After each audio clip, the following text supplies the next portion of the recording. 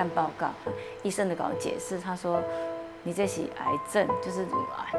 听到我我刚刚讲身边都没有人得到这种病，那我怎么办？我要怎么办？那师兄也是很害怕，因为他在想说他也要上班，真的没有办法照顾我。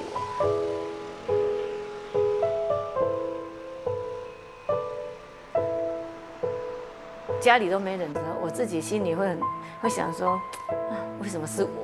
可是那时候我就告诉自己说，我还是要坚强，我不要让我的家人难过。我自己知道那那个化疗是这痛苦，有时候想到会很害怕。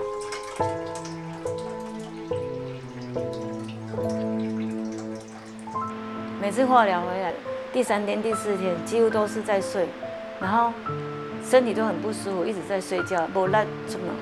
因为家人都不在家，所以我拢定定这样，家己去想，想讲囡仔这细汉，半夜有时候真的在治疗当中，因为这天人不舒服会醒来的时候，我都会跑到浴室里偷偷流下眼泪。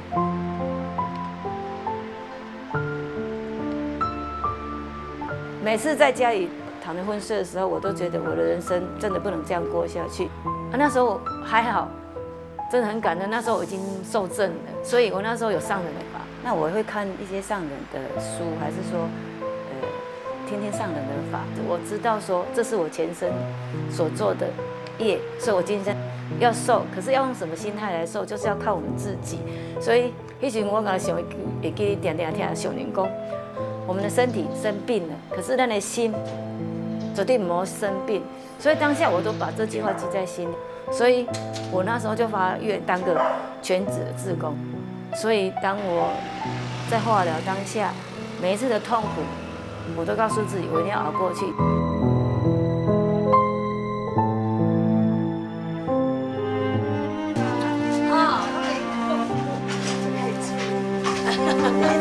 哦这碗够是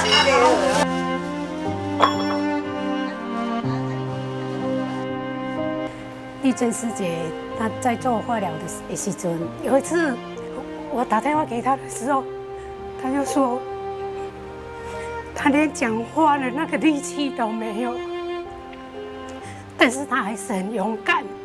他让我们看到的都是他最美好的那一那一面，因为那时候他在做化疗，头发都掉光了，她都是戴假发出来，不管做环保还有做相机。在付出当中，得到喜悦，用付出的力量增加他对抗那个病魔的信心跟勇气。他是生命的勇者，好，用生命在做自工。当我失落，给我亲切的微笑。他当协力，他把我们这一组的组员，好个安安安。有时候我接到他的电话。他都会交代说做什么事情，但是下一次再接到他他的电话的时候，他人已经跑到花莲去当义德妈妈了，所以我都说他是一匹雌骏马。他真的是行孝做得很好，他对妈妈都是报喜不报忧。他在生病的这一段期间。他的妈妈都不知道。当初那时候，我知道他生病，我们两个就抱在一起哭。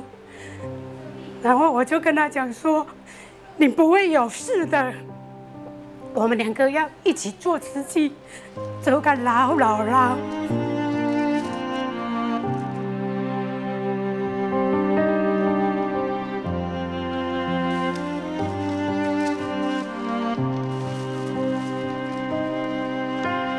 是个癌症病患，我的时间是有限的，我的生命真的是有限的，因为我知道无常找上我，我的生命就不可能自己决定了，所以我就去当医院志工。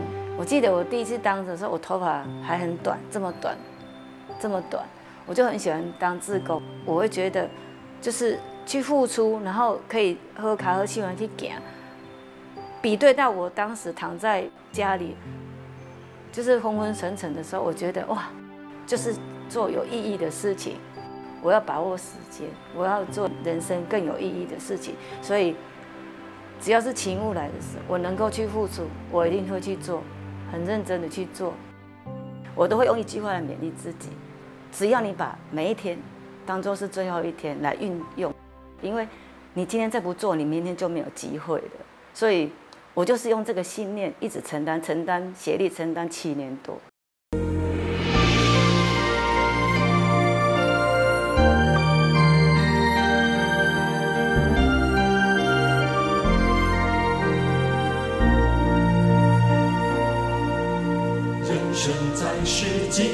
年，何必斤斤来计较？